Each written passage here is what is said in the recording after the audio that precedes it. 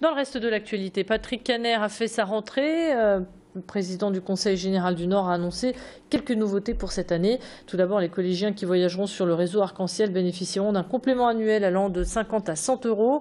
Et autre nouveauté, l'arrivée du haut débit dans 25 collèges pilotes du Nord. Cette mise en place des espaces numériques de travail est un investissement de 45 millions d'euros étalé sur 5 ans.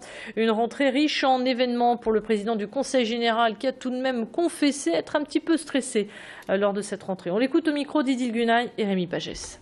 A toujours un peu de stress. Vous savez, quand on a assuré la rentrée dans le secteur public de près de 96 000 collégiens, il faut que tout soit nickel, comme l'on dit chez les jeunes. 200 collèges publics, beaucoup de travail, beaucoup de préparation. Euh, parfois euh, des difficultés, parfois euh, des problèmes qui peuvent se poser ici ou là, mais en tout cas, on sait que maintenant, avec l'expérience, que les choses se passeront dans de bonnes conditions pour les élèves et aussi pour les parents qui sont eux-mêmes un peu stressés.